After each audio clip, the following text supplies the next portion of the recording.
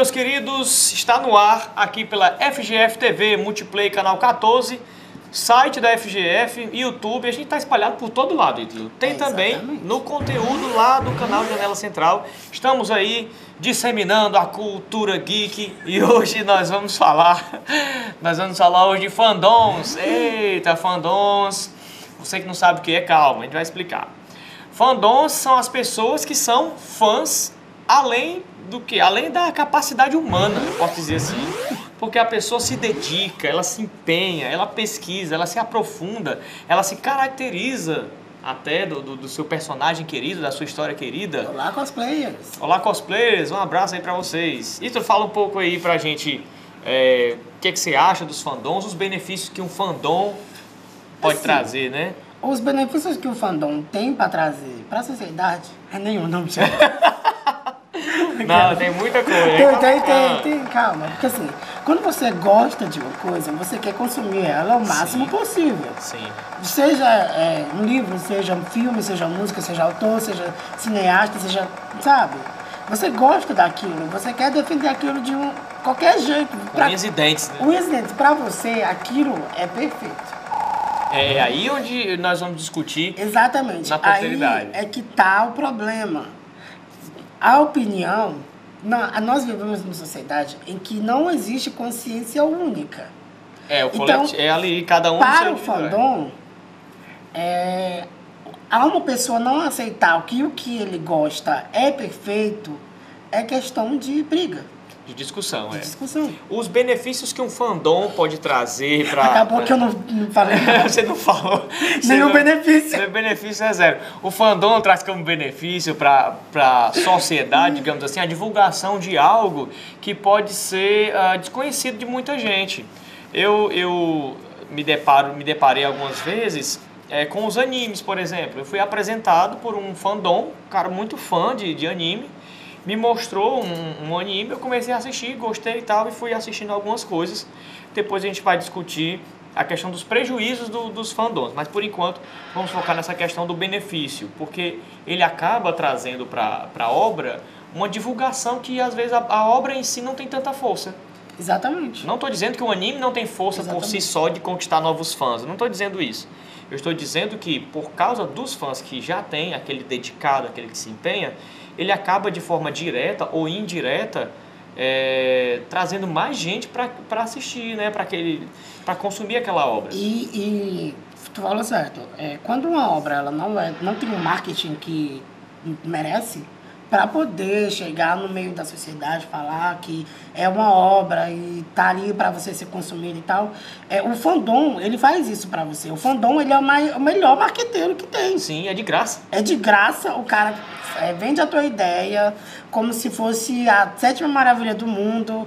E aí, é, como tu não conhece, tu compra a ideia e tu vai consumir e tu vira fandom. Porque você não tem só uma pessoa falando com tanta empolgação, fala com Exatamente. tanta empolgação de anime, fala com tanta empolgação, ah, sei lá, de Marvel, DC, Jogos Vorazes, Divergente, falam com tanta veemência que você, ah, eu vou, eu vou investir nessa ideia. Eu vou dar vou uma o olhada nisso aqui. É, aí Para você acaba, pra ver qual é a desse cara aí, porque você acaba depois adquirindo por causa de um marketing ali e você fica muito mais confiante numa pessoa te passando algo do que às vezes uma mensagem publicitária.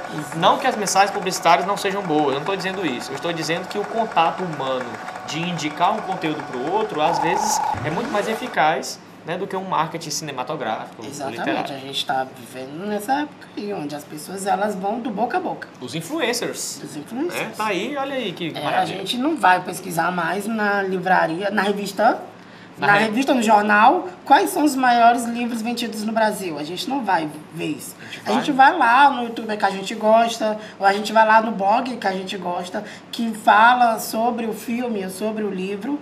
Verdade. E aí a gente vai ver qual é a do cara, qual é a dele, qual é a da obra. E a gente acaba comprando. Sim. E uma coisa que tu falou agora, é um fandom que eu adoro, é o fandom dos animes. Eu adoro os Os otakus. Os eu otakus, adoro os otakus. Eu Os otakus, eles são assim, um- eles não são pessoas, eles são uma força da natureza, São sabe? entidades. São entidades, porque os otakus, ele- eles têm uma força né, descomunal. eles se caracterizam, eles, eles mudam o jeito de falar, eles mudam o estilo de vida, eles incorporam personagens. É, os cosplays estão aí, os cosplayers, que são as pessoas que, que produzem o cosplay, pelo amor de Deus, você não vai chegar para um cosplayer e dizer, olha que fantasia legal. Você não vai fazer isso. Gente, dá trabalho. Dá trabalho. Não é fantasia, é cosplay. Cosplay dá trabalho. Né? Então, determinados conceitos até para o fandom são, assim, sagrados. Exatamente. Cosplay, que é a caracterização, não é fantasia. Não é fantasia. Não, porque muitas vezes o, o cosplayer, que é o, o, a pessoa que se caracteriza, ela tem aquilo como é uma arte dela mesmo, é um ela trabalho, que faz, é um, é um trabalho, trabalho. é ela que monta, ela, Tem né? muita gente que ganha dinheiro com cosplay. Sim, Em competição, vende cosplay, confecciona cosplay. confecciona cosplay. E aí vende, e aí faz seu dinheiro a partir daquilo ali. E aí, é por isso que eu gosto dessas pessoas, elas são dedicadas. O fandom, no modo geral, é dedicação. Sim, E dedicação a uma coisa que você. que as pessoas geralmente não têm. É, As pessoas do, do modo geral, elas não têm uma dedicação que o fandom que dá aquela obra, a né? obra. Verdade. Exatamente. Verdade, que, que muitos até é, é, têm até prejuízos financeiros, é, é, social, por conta dessa dedicação, às vezes extrema, né, exatamente. a, a- a um determinado produto né, da cultura geek. Você tem também a, a- um ícone da, da, da cultura pop né, desse, desses últimos anos, que é o Harry Potter, que tem aí os Po- Potterheads, né? Esse, Potterhead. os Potterheads que também não deixam a desejar, eles vão mesmo, se dedicam, se empenham. Olha, para você ter uma ideia, não só tem a questão do, do cosplay, do, não só dos otakus, mas tem de outras modalidades, né? Seja de Exatamente. heróis, o É. do próprio Harry Potter.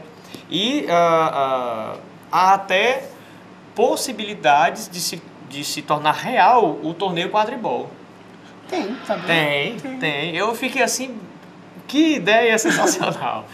Porque o, o quadribol, para quem não, nunca assistiu Harry Potter, não sei em que Se planeta você você estava mora numa vivendo. caverna, É, não tem sinal de TV, não, nada.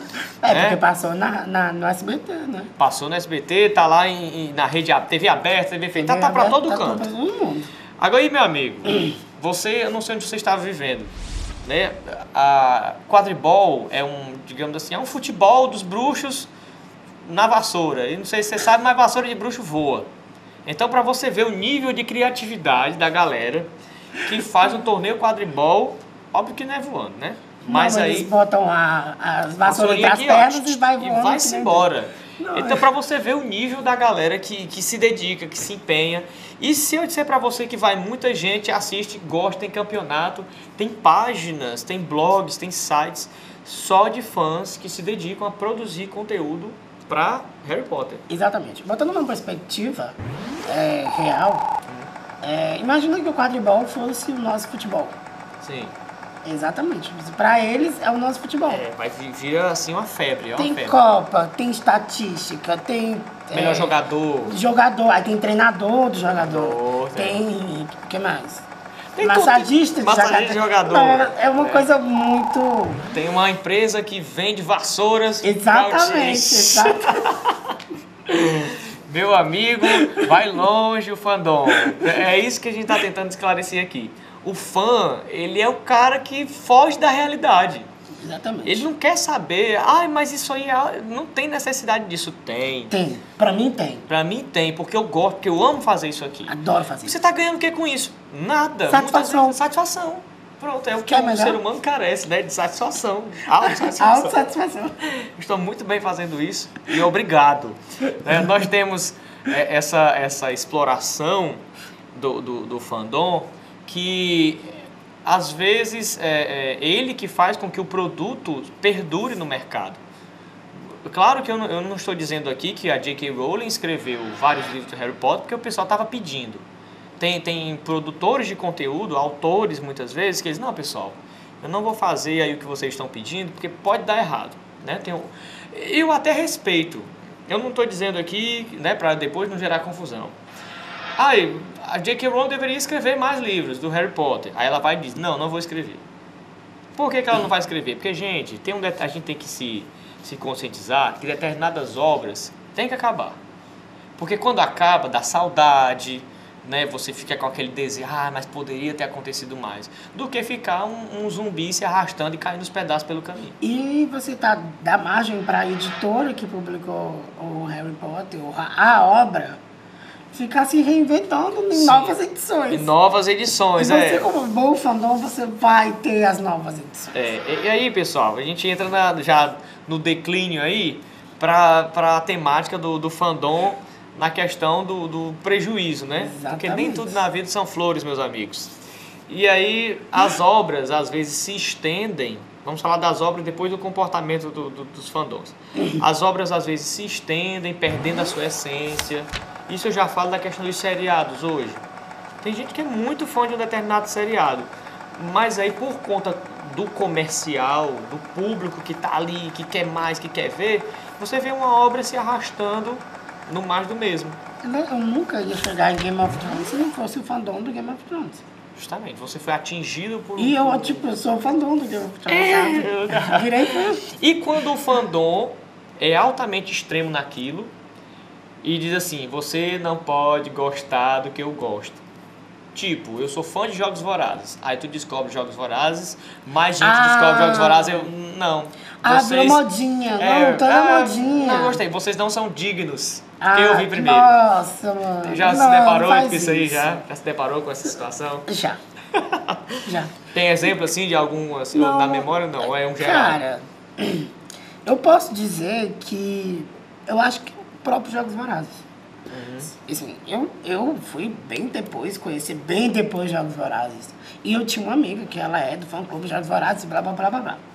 E aí foi exatamente isso.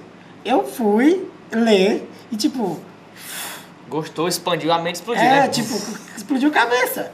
E depois a minha amiga, não, tu já é da modinha, tu não pode gostar, porque eu vi primeiro, tu não é da época que ela lançou e tal.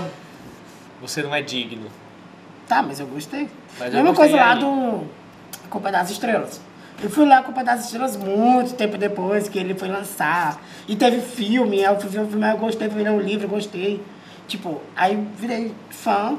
Porque quando você gosta, você meio que vira fã, né? Vira fã porque você quer saber mais. Exatamente. Você- e às vezes o, a protagonista, a Hazel, ah, gosta de um livro, de um filme que tá ali no, na, da obra. Você que vai querer ver. Foi o que aconteceu com a Bela do, do Crepúsculo, né? O, o, o Moinho dos Ventos Morro dos Morro Ventos dos é uma coisa assim. Dos Ventos Uivantes, é isso aí. E ela acabou é, dando um marketing ali gratuito para um outro livro. Da Emily Brontë, um clássico da literatura É. inglesa. E aí, ó, a editora que publicou no Brasil, a editora que publicou Crepúsculo no Brasil, publicou Morro dos Ventos Uivantes com uma tag, Eu tenho lá em casa.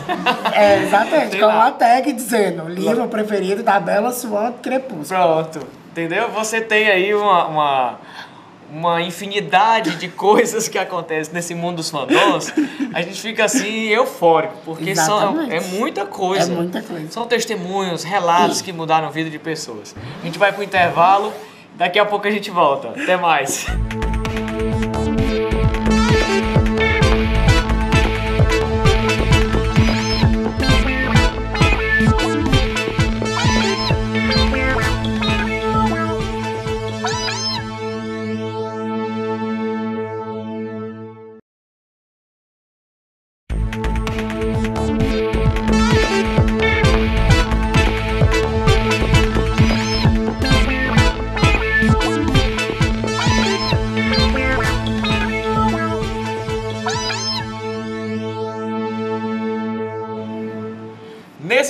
Bloco, nós vamos aqui falar de coisas um pouco mais tensas, né? Mesmo ainda com um sorriso no rosto, né? Porque falar de fandom, eu, eu, a gente comenta essas coisas, eu fico com esse sorriso no rosto, porque eu me identifico com muita, muita coisa disso aí. Aham. Eu comecei a assistir Naruto, ainda legendado no DVDzinho, ou às vezes na internet, aqui, aquela velha gambiarra que a gente tenta ali consumir, porque no Brasil não tinha essa é, divulgação que tem hoje, distribuição. Então a gente procurava na internet mesmo.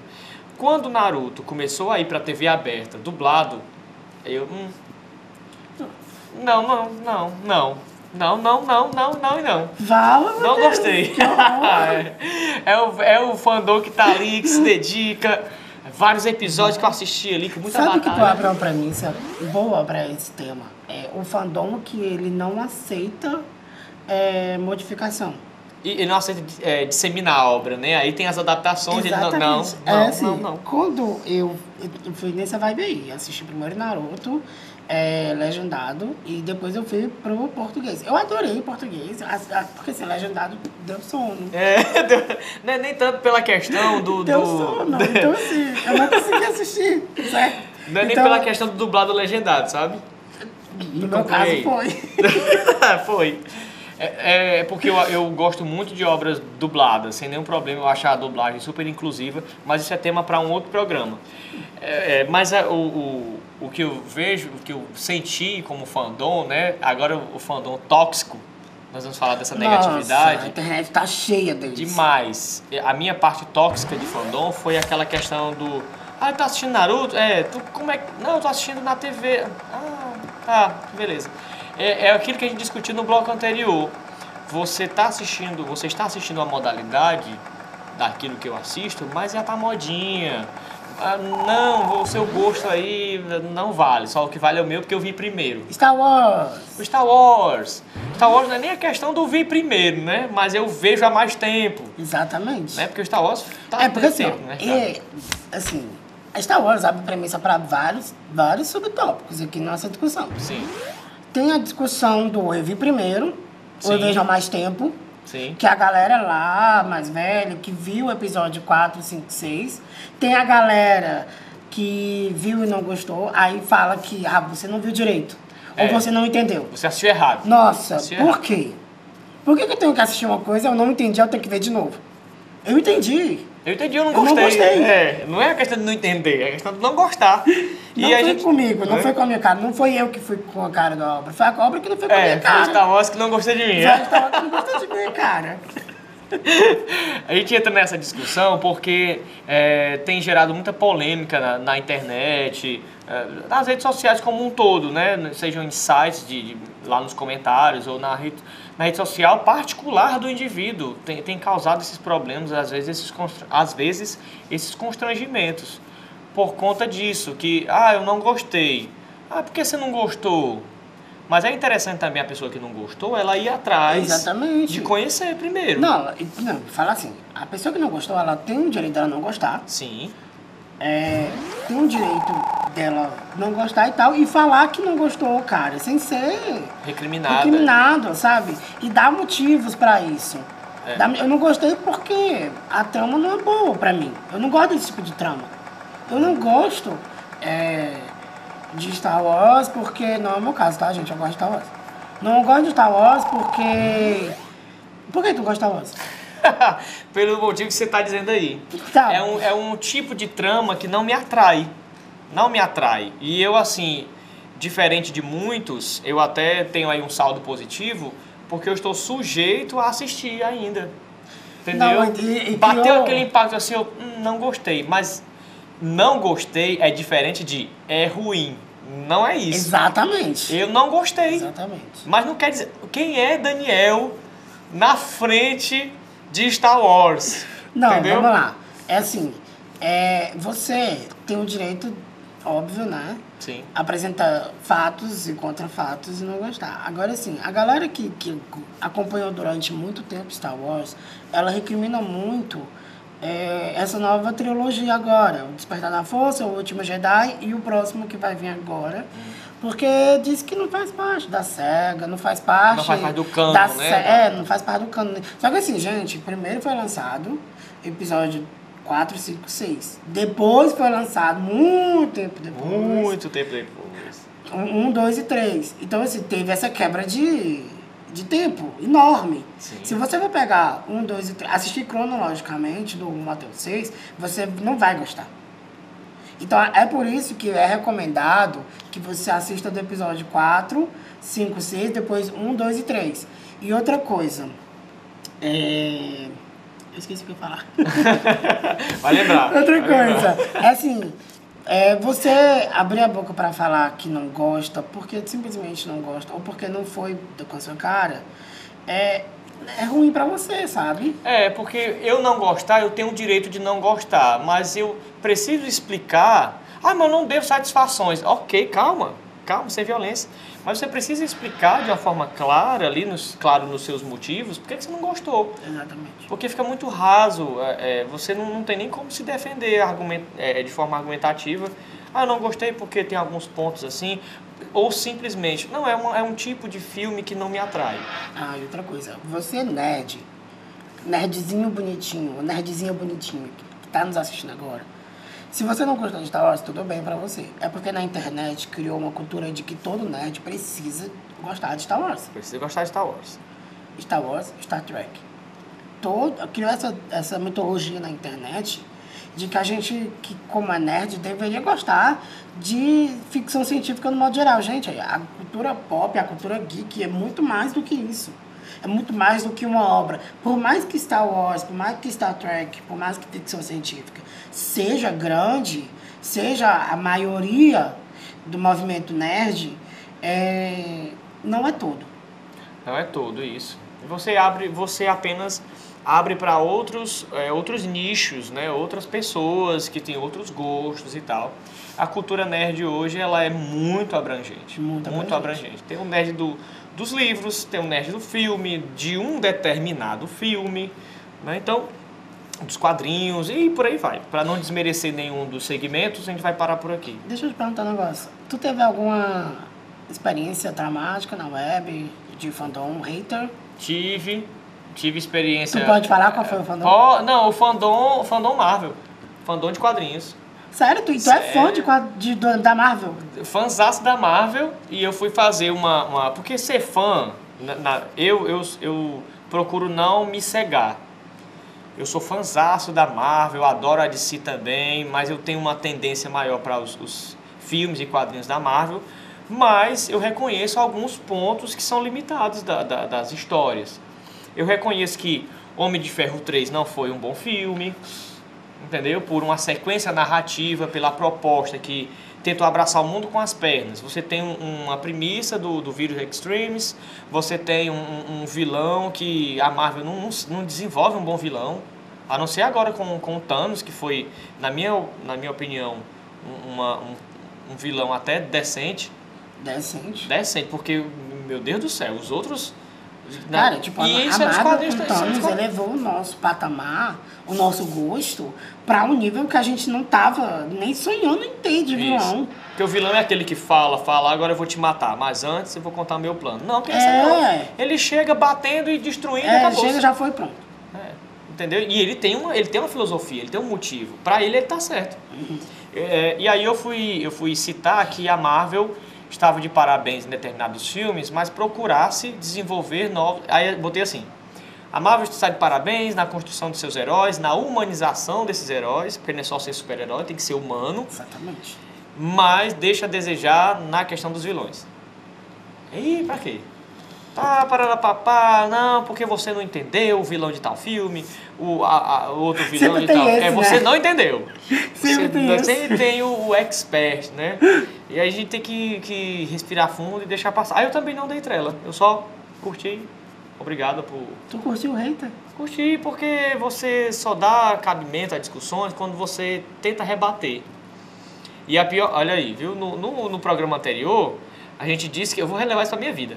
Nós dissemos aqui que a diferença do remédio pro veneno é a dosagem. Eu vou dizer pra você o seguinte: discutir, as, discutir com o hater já não é mais o fandom, porque o fandom aqui já ultrapassou o nível tóxico de fandom e virou um hater. Ele ofende gratuitamente as pessoas. Você discutir com um hater é jogar pombo, é jogar xadrez com pombo, jogar pombo com xadrez. né?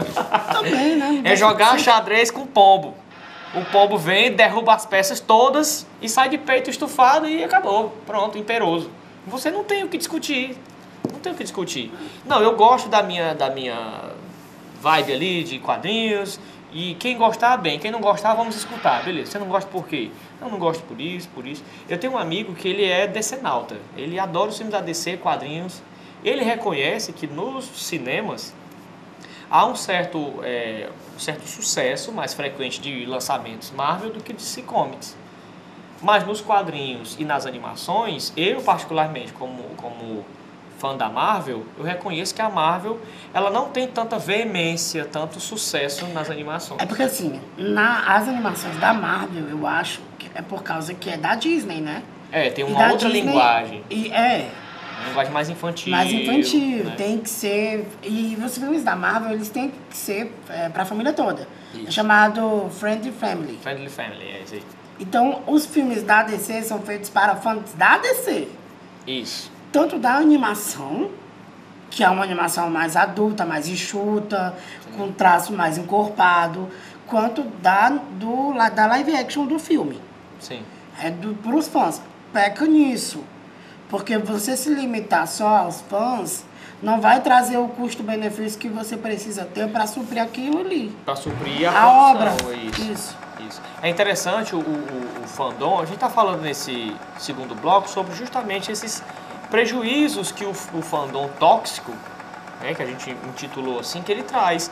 Ele traz é, estresse para as pessoas que até gostam e às vezes se ocultam. A gente falou no, no primeiro bloco dos otakus. Quantos otakus não se ocultam é, de dizer que gostam de anime porque tem gente que é absurdamente deselegante, mal educada com, com outras pessoas. Quantos fãs de Harry Potter não se ocultam por conta de, de outros que acabam prejudicando ali o, o- a obra, né? dando mau exemplo ali, que eu digo assim, ofendendo as pessoas. Ah, e acaba generalizando, ah, todo fã de Harry Potter é agressivo, todo otaku é agressivo. Não, é apenas aquele fã tóxico, né? Que foi para uma, uma vertente mais extremista, mais errada da coisa. Foi no meu caso, né? Dos, fandoms do Harry Potter, né? Uhum. Cara, foi na época do primeiro Animais Fantásticos. Sim, Eu, eu fui lá na rede social, do Potterhead, do fórum lá, do filme. Aí eles falaram que estavam todo mundo empolgado com o novo filme do universo primeiro, né? O primeiro. Isso, primeiro. Aí eu, gente, por quê? Por que, que ela não faz isso? A J.K. Rowling é uma boa escritora, ela podia se aprofundar mais nos romances adultos dela. E por que, que ela vai se limitar mais ao universo Harry Potter, sabe? Por quê e tal? Aí todo mundo falou assim, ah, porque você não é fã, não sei o quê. É, você te- deveria estar agradecido porque a gente vai poder consumir mais coisas do Harry Potter. Eu, gente, calma, o negócio não é isso. O negócio é que, pra mim, a J.K. Rowling funcionou muito bem como escritora é, adulta, como uma escrita mais Ela poderia enxuta. aproveitar o, o- o sucesso do, do, do Harry Potter e, e explorar outros segmentos, Exatamente. né? Eu não estou dizendo que Harry Potter é ruim. Não, não é isso. É outra coisa, você está entendendo errado. Aí tá- você está entendendo tá- errado. né? É ele que está entendendo É, errado. na você minha está entendendo errado. Então, essas discussões sobre os benefícios que o fandom, aquele cara dedicado, aquela moça dedicada, aquele, aquela preferência, né, aquela obra, ela traz, assim, benefícios de marketing absurdos. Exatamente. Mas há controvérsias quando você tem aquele que é tóxico, aquele que Hater. uh, hater, aquele que ofende as pessoas por elas não gostarem, por elas preferirem outra coisa ou por elas terem uma opinião diferente da sua. Nós ficamos por aqui. Espero que você tenha gostado do programa de hoje falando sobre fandoms e até a próxima. Até a próxima. Valeu. Falou. Tchau. Tchau.